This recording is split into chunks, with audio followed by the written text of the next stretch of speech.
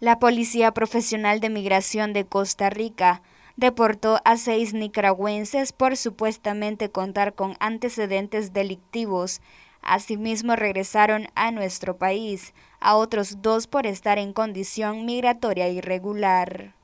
Según las autoridades, los hombres estaban detenidos en el Centro de Aprehensión, región central.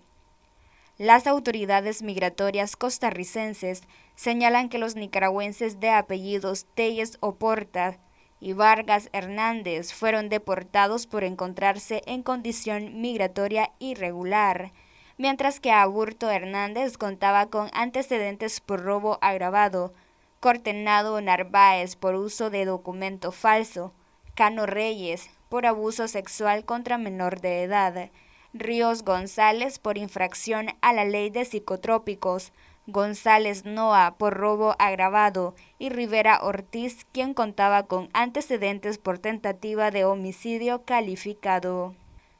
La entidad migratoria detalla que en los primeros 14 días del mes de marzo del 2023 han deportado 47 personas, 40 nicaragüenses, 4 salvadoreños, un colombiano, un ecuatoriano y un guatemalteco.